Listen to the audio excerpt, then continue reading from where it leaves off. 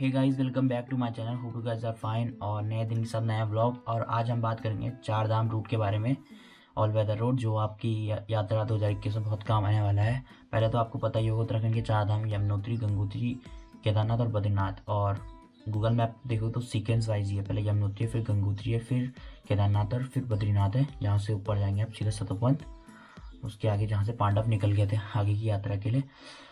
तो ये सारे जो रूट है, ये पंचप्रयाग होते हुए जाते हैं। देवप्रयाग, रुद्रप्रयाग कर्णप्रयाग और नंद प्रयाग और विष्णु प्रयाग होते हुए।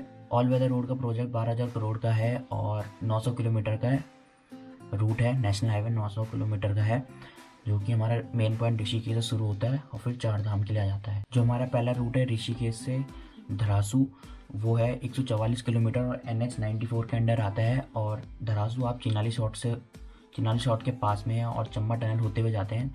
धरासू से दो रूट करते हैं, यमुनोत्री और एक गंगोत्री के लिए।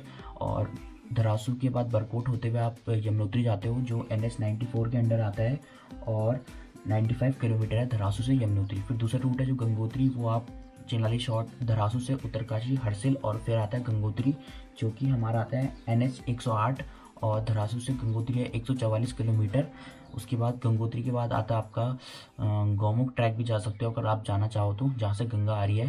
जिसको भागीरथ भी बोलते हैं और यमुनोत्री से यमुना आ रही है, यमुना रिवर।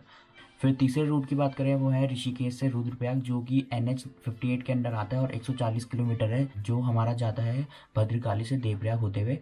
देवप्रयाग हमारा लास्ट संगम है और जाते पहला संगम है, जहाँ पे भागीरथी और अलकनंगा संगम होता है और उसके बाद वो गंगा बन जाती है। फिर रुद्रप्रयाग रुद्रप्रयाग रुद्रप्रयाग संगम है, जहाँ पे अलकनंद और मंदाकिनी का संगम होता है, जो मंदाकिनी केदारनाथ से आती है।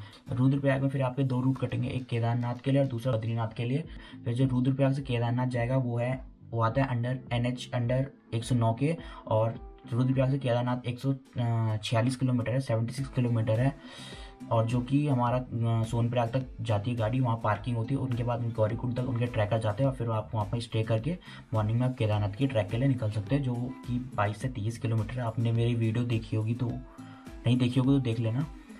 फिर लास्ट रूट है जो हमारा, वो है रुद्रप्रयाग से माणा, बद्रीनाथ, क्योंकि मंदिर साइड पर ही है बद्रीनाथ का। वो आता है हमारा एन एच फिफ्टी एट के अंडर और 140 किलोमीटर है रुद्रप्रयाग से बद्रीनाथ तक का। फिर आपको मैंने देवप्रयाग बता दिया, रुद्रप्रयाग संगम बता दिया, फिर इसके बाद आता है हमारा कर्णप्रयाग का संगम, जहाँ पे अलगनंदा और पिंडर गंगा का संगम हो रहा है। फिर उसके बाद आता है हमारा नंद प्रयाग संगम, जहाँ अलकनंदा नंदाकनी का संगम हो रहा है। फिर उसके बाद आता है विष्णु प्रयाग जहाँ पे अलकनंदा और धौली गंगा का संगम हो रहा है।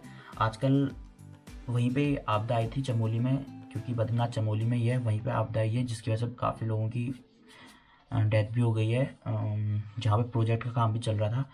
फिर उसके बाद आता है आपका बद्रीनाथ। अब बद्रीनाथ के ऊपर आता है सतोपंथ जहाँ के ट्रैक के लिए आप जा सकते हो। परमिशन लेनी पड़ती है वहाँ के लिए।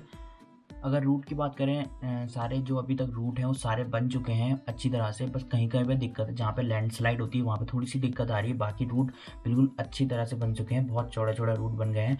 किसी भी किसी भी टूरिस्ट को कोई दिक्कत नहीं होगी आने में तो आप आइए अप्रैल में, क्योंकि जो हमारे कपाट खुलेंगे, वो अप्रैल में खुलेंगे मिड ऑफ़ अप्रैल में खुलेंगे, पंद्रह, चौदह, अठारह, इसी टाइम पे खुलेंगे सारे धामों। तो उस टाइम पे आइए प्लान करिए और जल्दी से जल्दी आइए।